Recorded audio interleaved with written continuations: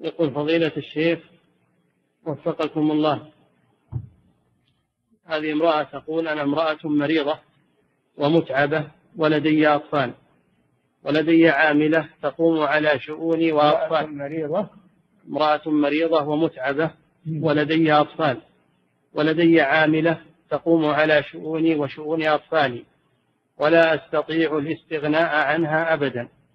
وزوجي يرغب في السفر.